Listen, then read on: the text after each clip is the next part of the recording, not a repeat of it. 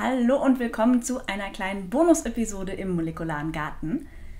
Vor ein paar Monaten hatte ich hier ein Video über Blutorangen hochgeladen. Da ging es darum, wie Kälte die rote Farbe hervorbringt.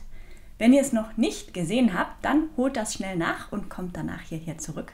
Heute gibt es zwei Updates zum Video, eins zu euren Daten und ein eher persönliches. Aber erstmal zu euren Daten. Am Ende vom Blutorangen-Video, da gab es einen Aufruf an alle euch zum Datensammeln und kann man eigentlich von der Farbe der Orangen auf die Temperatur im Anbaugebiet rückschließen?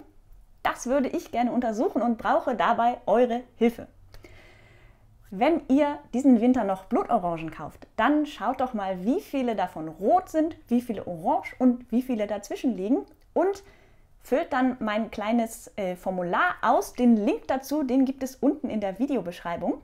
Wenn genug Daten zusammenkommen, dann mache ich am Ende der Saison ein Blutorangen-Extra-Video mit den Ergebnissen. Mittlerweile ist der Winter und damit auch die Blutorangen-Saison vorbei und Zeit, dass wir uns die Daten anschauen. Ich habe euch nach verschiedenen Dingen gefragt, unter anderem Sorte, Herkunft, Kaufdatum und die Farbe von euren Orangen.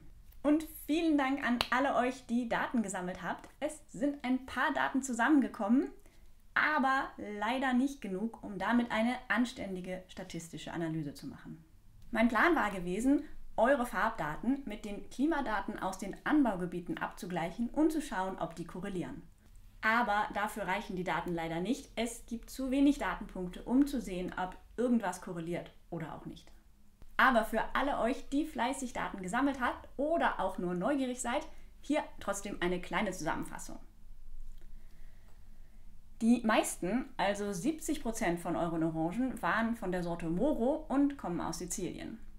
10% waren Tarocco, auch aus Sizilien, und 20% waren Sanguinello aus Valencia in Spanien. Farblich war von allem was dabei.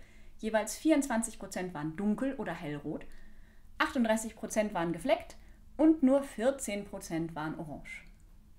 Das war es erstmal mit den Blutorangen, aber noch nicht ganz denn ich hatte das Video beim Fast Forward Science Multimedia Wettbewerb eingereicht in der Kategorie Scientist and Research Institution Award und es hat es doch tatsächlich ins Finale geschafft. Das heißt, es ist unter den Top 3 in seiner Kategorie.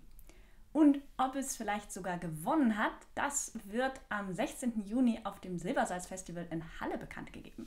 Falls ihr in der Nähe seid, dann schaut doch vorbei. Es gibt auf jeden Fall ein spannendes Programm mit Filmen, Events und Ausstellungen rund um die Wissenschaft. Einen Link zum Festival findet ihr unten in der Videobeschreibung. Das war jetzt wirklich alles über die Blutorangen. Erstmal auf jeden Fall. Demnächst gibt es dann wieder ein anderes Thema. Bis dann. Tschüss.